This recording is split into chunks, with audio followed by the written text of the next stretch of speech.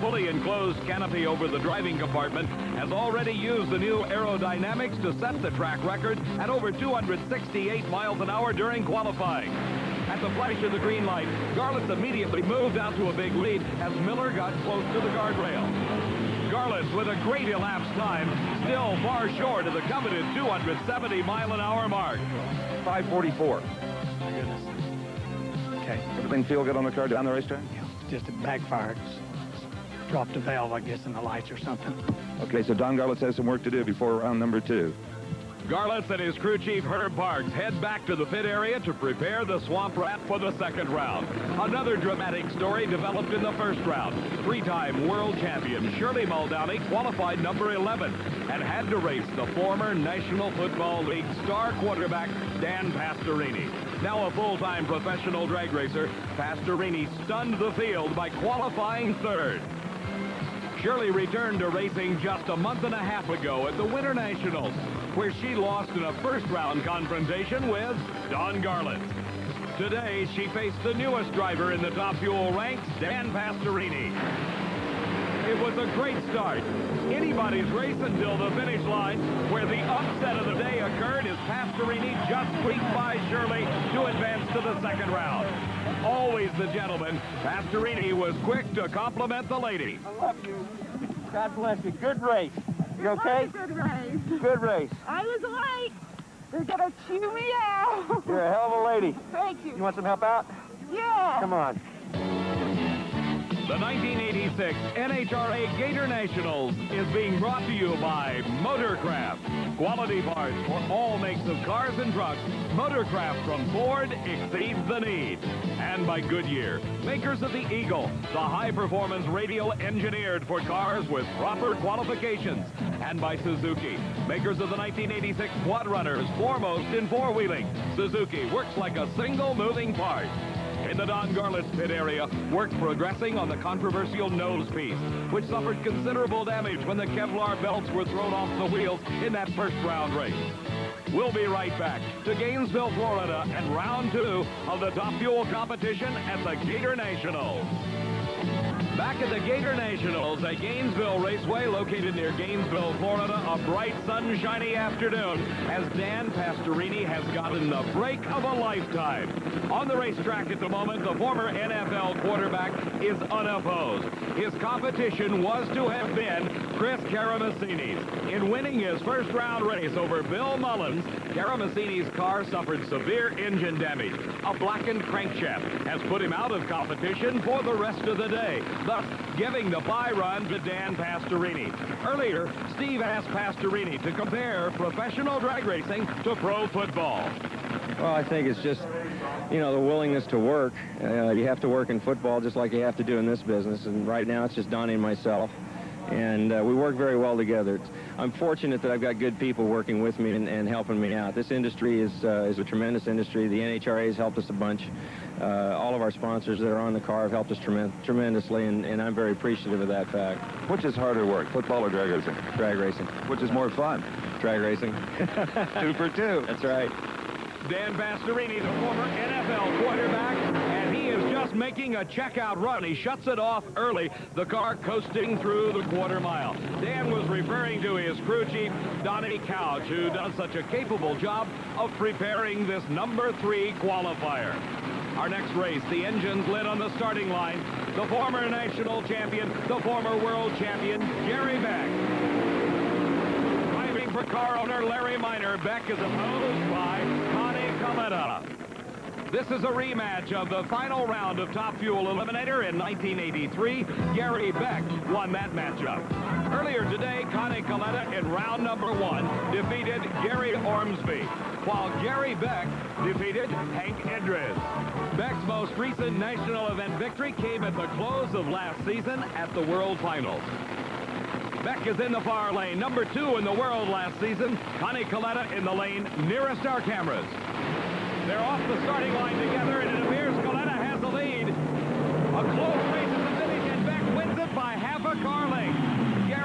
With a 5.63 second elapsed time at 257 miles an hour used a starting line advantage. As we watch again in slow motion, the hole shot or the advantage off the starting line goes to the car in the far lane. That's Gary Beck. Kalitta has some power though. He pulls right up alongside, but at the finish line, it's Gary Beck just nosing out Kalitta. 5.63 the elapsed time for Beck. For Kalitta, 5.60. The hole shot pays. Gary Beck, nice driving. Uh, you beat Connie Kalitta with a hole shot.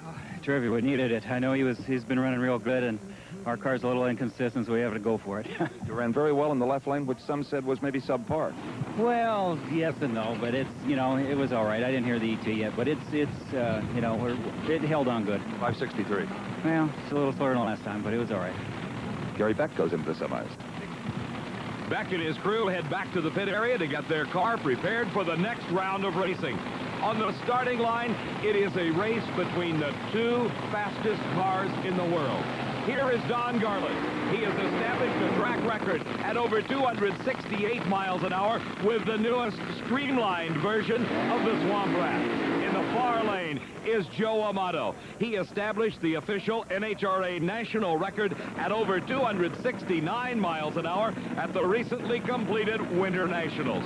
Thus, pairing together the two fastest cars in the world.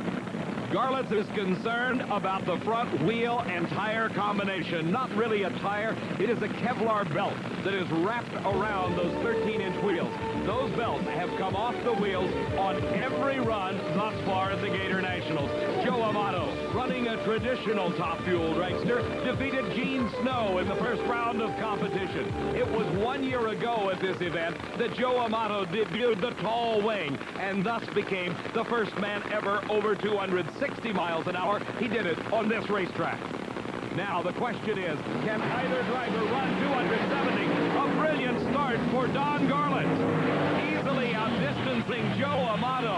Garlits with a great elapsed time, 5.46 seconds. His speed, though, only 246 miles an hour. The concern for those front wheels beginning to show. Here's Darrell Gwynn. He won the Winter National. He's 24 years old and one of the rising stars of Top Fuel Racing. Against him will be the man that won the Gator Nationals one year ago, Dick LaHaye. His crew chief is his daughter, Kim LaHaye, running out in front of the car to direct traffic for her dad. The burnouts used by all cars in competition, designed to heat up those monster slicks to provide the best traction possible for some 2,500 horsepower to get a hold of the pavement. LaHaye against Gwynn in round number two. Meantime, down on the return road, Don Garlits removing parts off of that damaged front nose piece. The Kevlar belt spinning off of the wheels once again. It may be that Garlits has made the decision not to shoot for that 270 mile an hour mark because of the problems with the front wheels. Kim LaHaye pointing the direction that she wants her dad to back that dragster up into his own tracks, trying to get the rubber-to-rubber -rubber contact that is so important to let these cars launch off the starting line. In the first round of racing, Dick LaHaye, also driving a brand new car, defeated Earl Whiting, while Darrell Gwynn beat Jimmy King. Gwynn has had his share of problems this weekend, most of them coming during qualifying. Darrell Gwynn exploded one motor. He and his father, crew chief, replaced that one with the second motor. It also exploded into flames, thus causing them to put the third engine of the weekend between the frame rails of the dragster to make the final elimination. With each of these racing engines valued at some $25,000, you can see this has been a very expensive weekend for the Gwynn family. Dick LaHaye, on the other hand, even with a brand new car, has a relatively trouble-free record this weekend. In the first round, he ran 5.54 seconds at 254 miles an hour. Very competitive and certainly within striking distance of the leaders. Gwynn in the far lane. Dick LaHaye, the defending champion, in the near lane staging very carefully into those light beams that stretch across the starting line. The front wheels will roll into those light beams, lighting and activating a bulb on the top of the Christmas tree, telling the starter it's time to throw the switch. And at the flash of green, it is Dick LaHaye away. And LaHaye easily wins the race. 5.54 seconds. a duplicate of his first round time at 257 miles an hour. So that sets up our pairings in the semifinal. Dick LaHaye with a quicker elapsed time in round two has the lane choice over Gary Beck, while Don Garlits has the lane choice over Dan Pastorini. Talk about Super Bowl competition. First, Pastorini has to race the three-time world champion, Shirley Muldowney. He wins that race. Now, in the semifinals, it is Pastorini against the reigning world champion and the winningest top fuel racer of all time, Don Garlits. Dan's crew chief, Donnie Couch, must think his driver is facing the defensive line of the Chicago Bears. Daddy Don Garlits pit area. There's repair work going on to fix the damage to that fiberglass nose piece that was caused when the Kevlar belts spun off those 13-inch wheels in round number two. The huge overflow crowd that's jammed into Gainesville Raceway is ready for more excitement. And on the starting line, it is the defending champion in funny cars, Kenny Bernstein. His opponent in this second round race is John Force. Force was runner-up at the recently completed NHRA Winter Nationals, and he also is debuting a brand new car. In round number one, John Force defeated Tim Gross, while the reigning world champion, Kenny Bernstein, beat Tom Hoover. And if Don Garlits can be considered to be the innovative leader in top fuel racing, then Kenny Bernstein, along with his crew chief Dale Armstrong, are at the top of the field in funny car racing. Aerodynamically slick, the Ford Tempo body in the near lane is racing the brand new Chevy Cavalier-bodied car of John Force, moving from a Corvette body to a Cavalier, trying to pick up that aerodynamic advantage. Both drivers now ready. If the green light starts, and Bernstein is ahead of Force in the middle of the track and pulls ahead to a several car length victory. Bernstein at 5.66 seconds elapsed time, 256 miles an hour, consistently the quickest funny car in the field. Our next race getting ready to go. From Waco, Texas. His competition, the Corvette-bodied entry of Tom McEwen. The funny cars use a drivetrain that is very similar to that in a top-fuel dragster.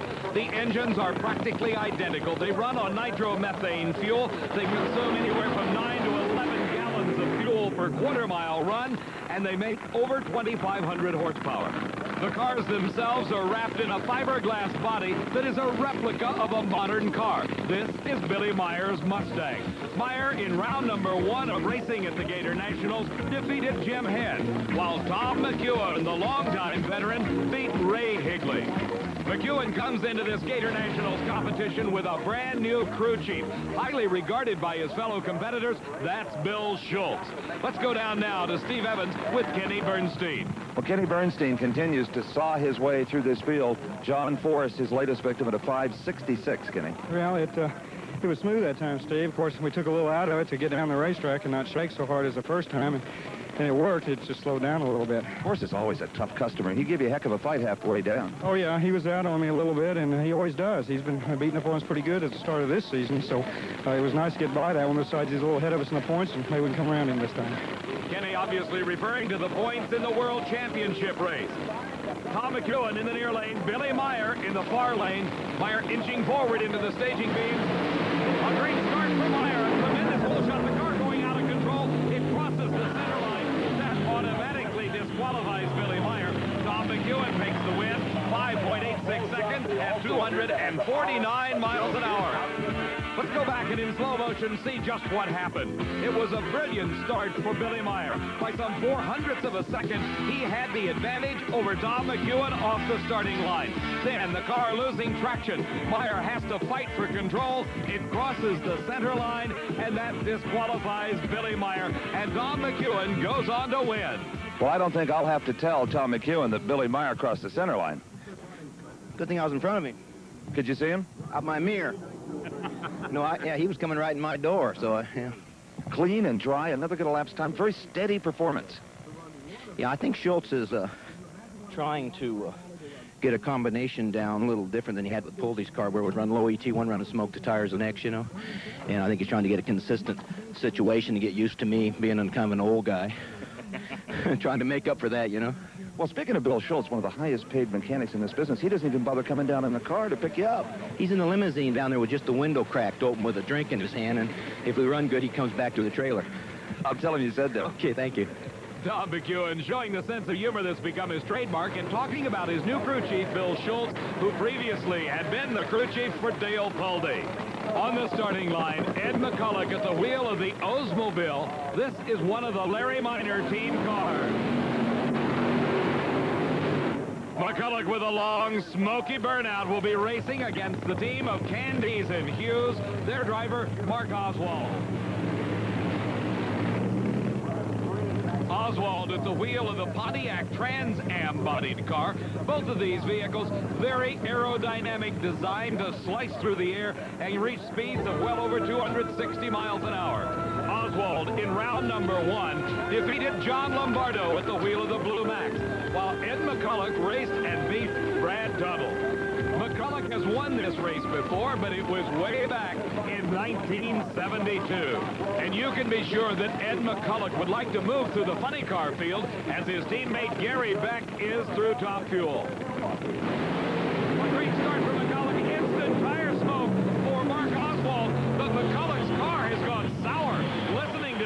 Engine, it sounds like it's only running on about six cylinders, but McCulloch lucks to a win of a 6.67 as Mark Oswald going up in tire smoke off the starting line lets Ed McCulloch take an easy win and advance into the semifinals. One of the next pair, John Martin, is a racer that has been predominantly competing on the West Coast. This his first full season on the National Event Tour.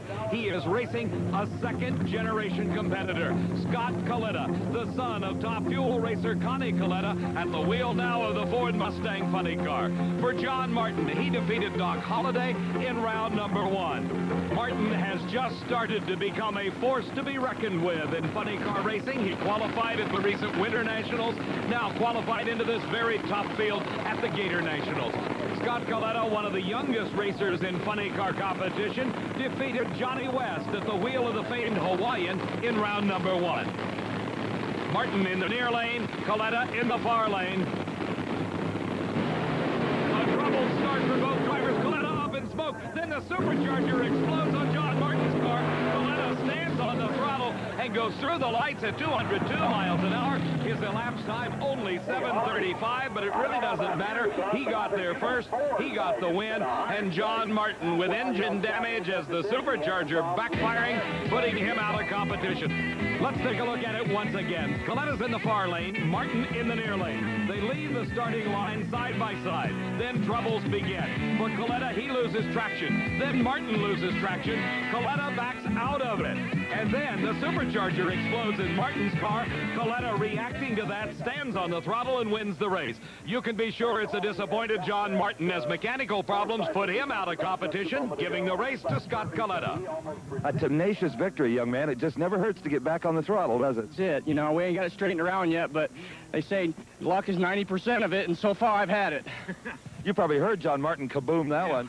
Yeah, and it was shaking the tires, and I almost crossed the center line. That's why I lifted, and then I saw him bang, and I said, take it. Will your dad get involved now that he's out? Yeah, he's, he never wasn't involved. you kidding me?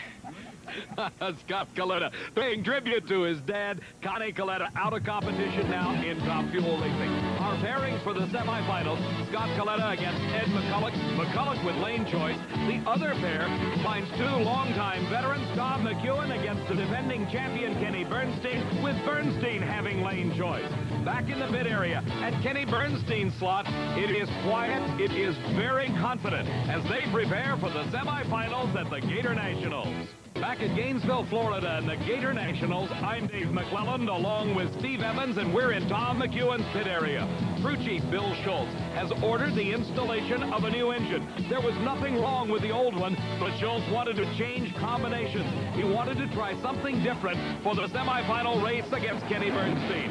On the starting line, the Pro Stock semifinals, the factory hot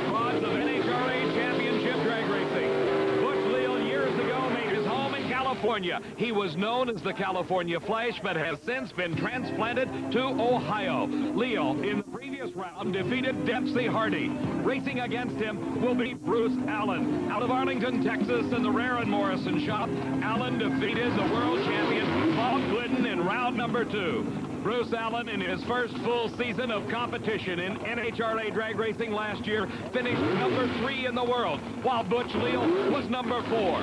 Rules restrictions limit these cars to 500 cubic inches maximum, two four-barrel carburetors, racing gasoline only, and they must originate from a factory-built car. But bear in mind, these are pure race cars designed for one thing, to cover a standing start quarter mile as quickly as possible. Near lane, Butch Leal in the far lane. Pontiac versus Chevrolet. And it is Butch Leal off the starting line first. It's a close race in the middle of the course.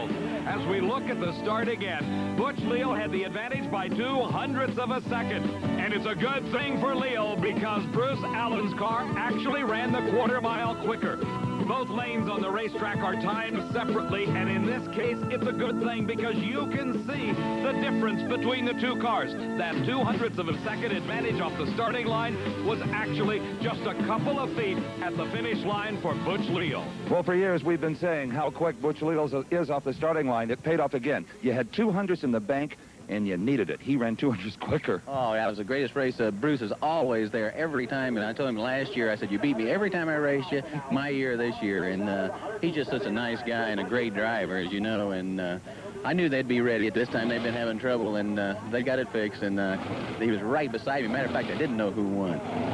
The remaining race in the semifinal round of Pro Stock matches Don Campanello against Gordy Rivera. Rivera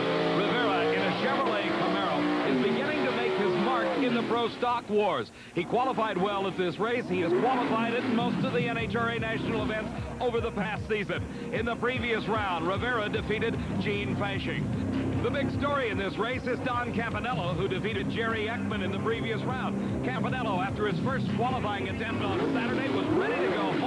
His crew talked him into staying and trying one more time. He did. It netted him a 7.50 second qualifying time, which put him number two in the 16-car field. Rivera in the far lane. Wayne, New Jersey's Don Campanello in the near lane.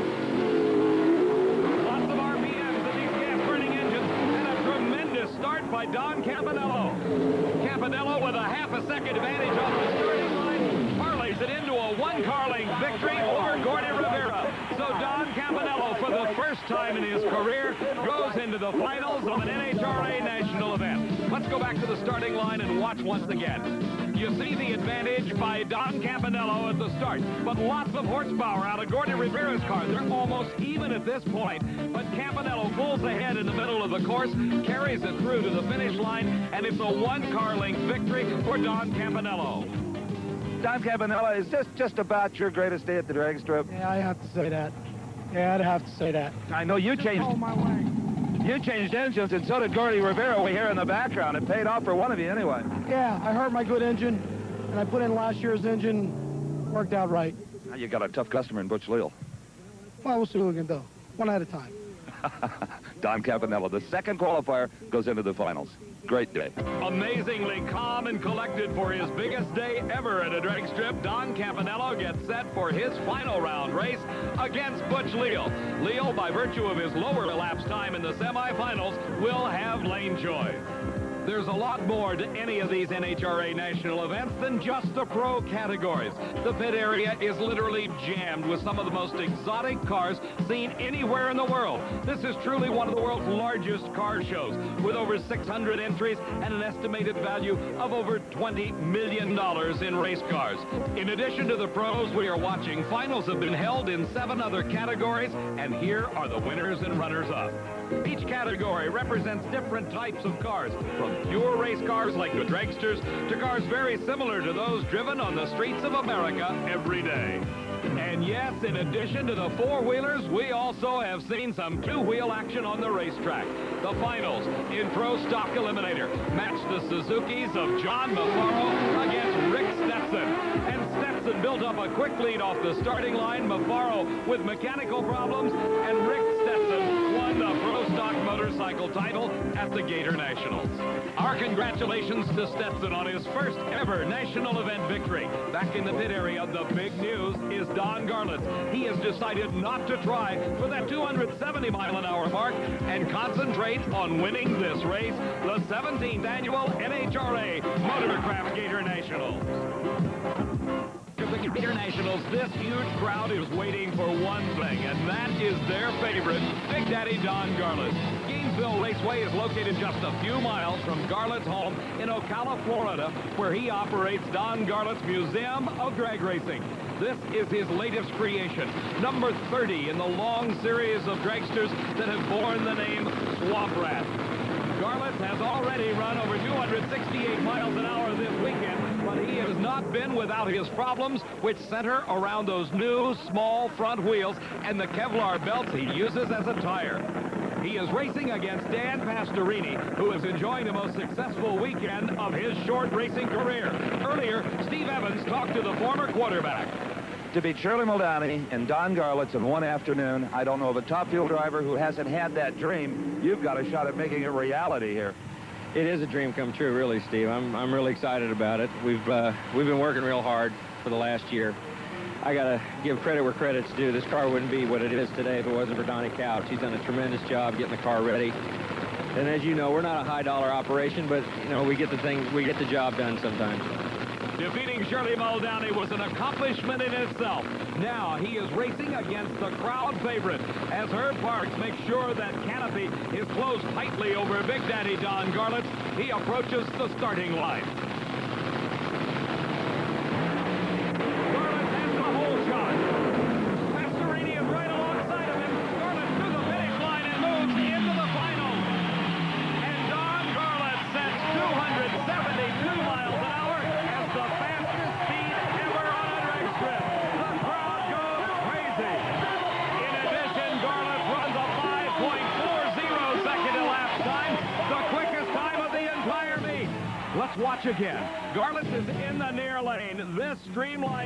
Device accelerates down the quarter mile and easily outdistancing Dan Pastorini, who ran 5.49 seconds, losing to Garlits, who became the first driver ever over 270 miles an hour. As the fans say, Big Daddy rules, but he's still got problems with those front wheels. The Kevlar belt spun off once again. You can hear him in the background. The crew says it. You punched a hole in the air. You drive right through it. 272. Oh my God, too fast for the record. Too fast for those bands on those front wheels. Yeah, we got to have some real tires up on the front of this thing. You know, I heard you say to your crew, I'm not going to try the 270. That's over with for this race. There it was. Well, it's just it's just running good. You know, we, you know, you can't hardly help yourself. You basically tune, and I didn't really. We did. We were taking nitro out of it. It's just that it's so slick. The concept obviously works. Yes, it's it's the design of the future. There's no question about it. And we'll have the tire thing fixed. We've already got tires. We've got some little airplane tires. That's going to do the job just nice. Oh, by the way, you ran, ran low ET as well, a quicker 540. Great, great. Okay. Big Daddy, the fastest man in the world of drag racing. At the age of 54, Don Garlits, still the innovator, still the pace setter. The defending champion at the Gator Nationals, Dick LaHaye, racing the semifinal match against Gary Beck. Finishing number seven in the world last season, Beck is in the far lane. In the near lane, number nine in the world championship chase last year, Dick LaHaye brought his brand new car to the Gator Nationals and is in the semifinals. Beck goes up in smoke. Dick LaHaye has the advantage and the win by only a car length, though.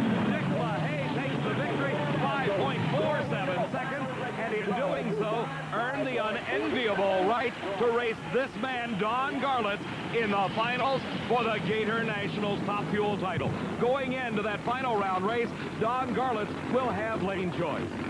The semifinals of Funny Car Eliminator. Kenny Bernstein, the reigning world champion and defending Gators champion, is in the near lane.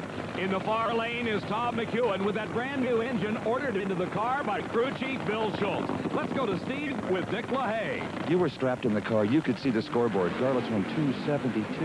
Yeah, I know. I mean, he's got it zipping down there in the lights, don't he? And it's just, it's unreal. I don't know how fast this thing will run because I haven't run it through the lights yet, but we're going to try. We're about to find out, huh? That's it. Dick LaHaye in his brand new car. He and his daughter Kim will be back in the pits getting it ready for the finals against Don Garlits. On the starting line, this may appear as a mismatch. Kenny Bernstein, the reigning world champion, the defending Gator Nationals champion, is at the top of his career. Tom McEwen has won only two national events in his long career, and Frank Hawley, the former two-time world champion, has said that maybe McEwen's just getting a little bit too old for all of this. A great start by both cars, and it is so close at the center of the track. At the finish line, it is Tom McEwen and the upset of Funny Car Racing. Into the finals goes Tom McEwen. Look at the time. 5.67 seconds elapsed time. Tom McEwen and that engine change made all the difference in the world. It was a hole shot by Tom McEwen, belying the age factor. McEwen put the hole shot on Bernstein, and he used it to win the race at the finish line. As we compare the elapsed times, McEwen at 5.67 seconds, Bernstein at 5.65. McEwen wins. You had a 300th hole shot, and it's a good thing. He ran 200s quicker. You ran five, 567 and beat him. No time for jokes, Evans. I'm telling you the God's truth. Thank you very much. We're, we're, we're due, I think. And it was Schultz's decision to change the engines, and it paid off. The whole thing is this decision, everything. All I try to do is leave somewhere in the majority of a minute on the light down there, no matter what Frank Hawley may say. Uh, we beat Frank, you know, we run him out of drag racing. You know, he gets it up there, it's all he wants, but, you know, he wasn't the Flash, you know. but anyway, we're happy to be here, and I'm happy with the whole crew and the whole everything, and let's just hope our luck hangs on. Steve, as I've told you many times, age has nothing to do with being fast. And here's one of the younger stars of the sport. This is Scott Kalitta, the son of top fuel racer Connie Kalitta, in the semifinals against Ed McCulloch, one of the established stars of funny car racing. Kalitta in the far lane. McCulloch driving for Larry Minor is in the near lane. Here's another case of the wide disparity of ages. Scott Kalitta is in his early 20s, while McCulloch, at the age of 41, is still very much a force to be contended with. Kalitta goes up in smoke, and it is still a sour engine for Ed McCulloch. He wins the race.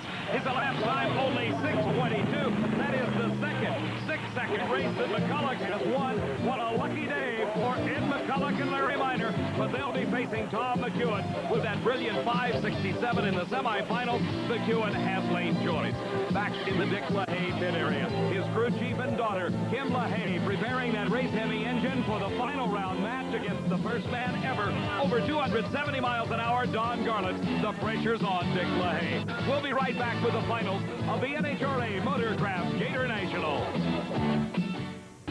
The center of attention at the Gator Nationals is the pit area of Don Garlits. Behind that throng of people, there is a lot of work going on. But a sense of humor still prevails. There's now a speed limit sign, 270 miles an hour, strictly enforced.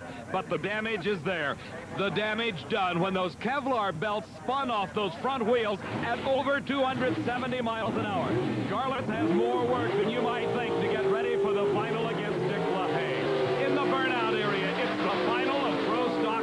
Eliminator. The 500 cubic inch gasoline burning engines residing under the fiberglass hoods of today's modern hot rods.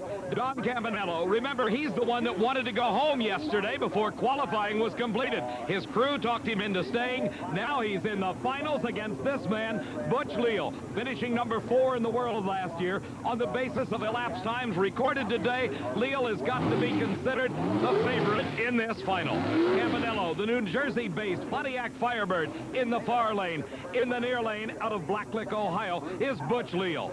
Leal is a member of that multi-car team owned by Gil Kirk out of Columbus. He has been to the finals of Pro Stock Eliminator many times, but his competitor, Don Campanello, has only been there once when he finished as a runner-up at the 1984 NHRA Southern Nationals. A pair of Pontiacs in the finals of Pro Stock Eliminator.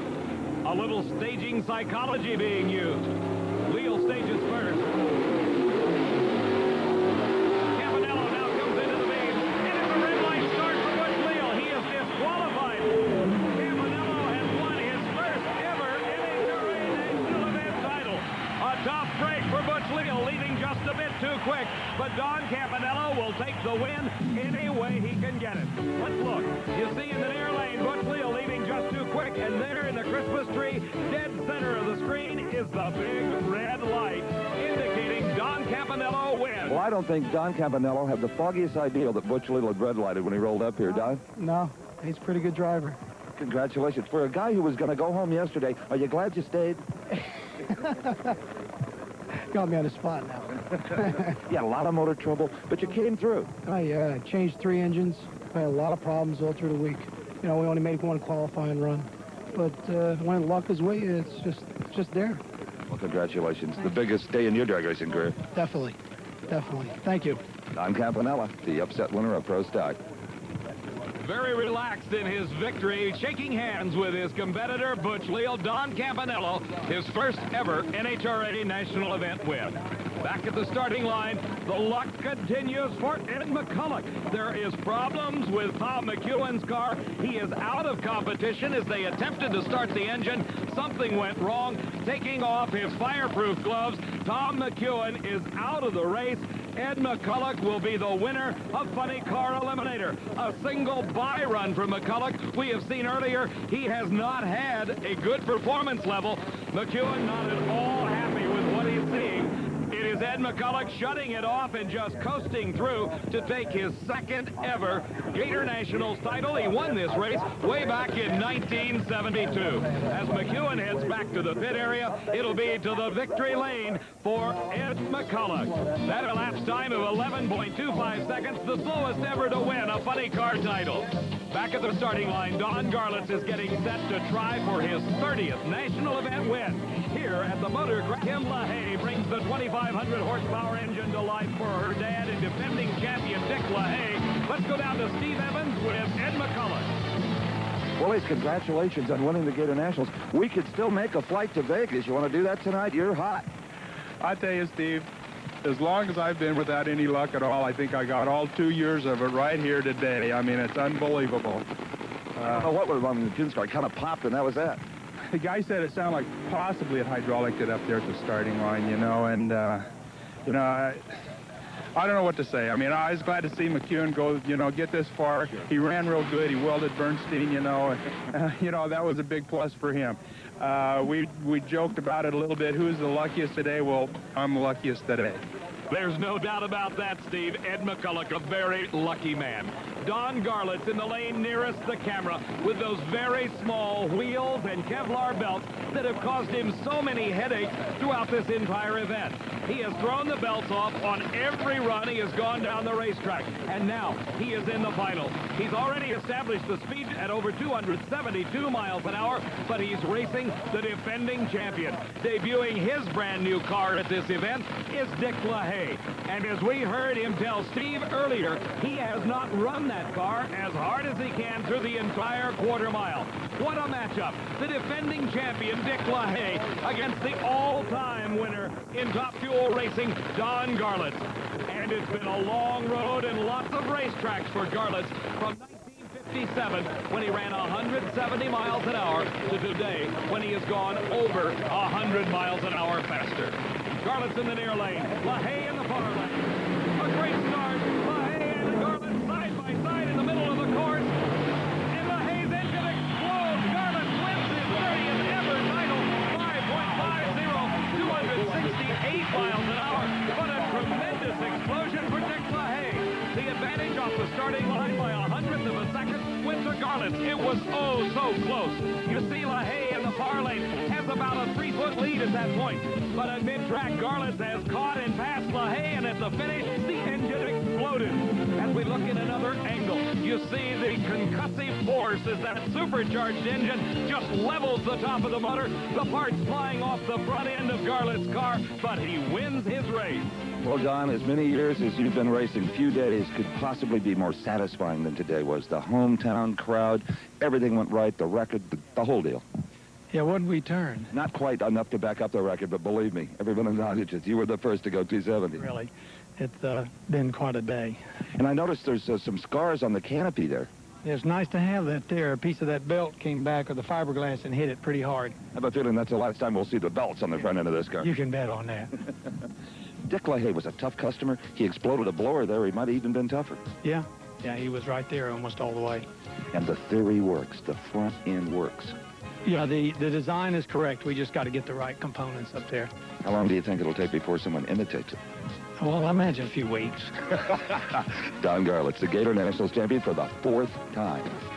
Our congratulations to all the champions at the 17th Annual Gator Nationals. For Steve Evans, I'm Dave McClelland saying so long from Gainesville.